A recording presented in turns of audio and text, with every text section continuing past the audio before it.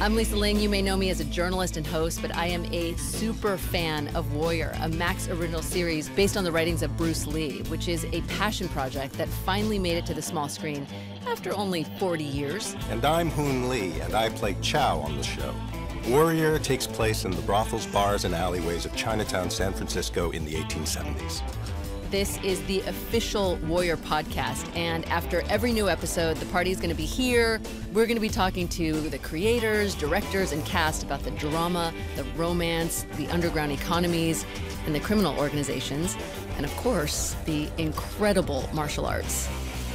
And we'll also talk about how the show incorporates real historical events that affected Chinese immigrants at the turn of the century.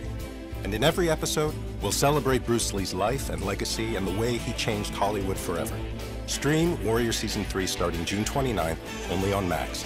And join us here or wherever you listen to podcasts.